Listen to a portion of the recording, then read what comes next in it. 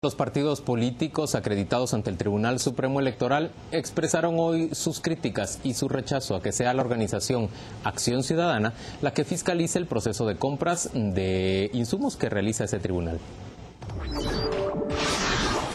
Que los entes encargados de vigilar la transparencia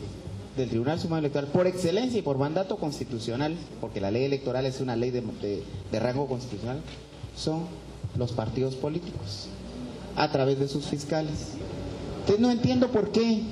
tiene que ser específicamente una fundación o una ONG la que tenga a ver que venir a darle fe de la transparencia de los actos del Tribunal Supremo Electoral. El hecho de que hayamos solicitado el acompañamiento de Transparencia Internacional es precisamente porque queremos, dejar claro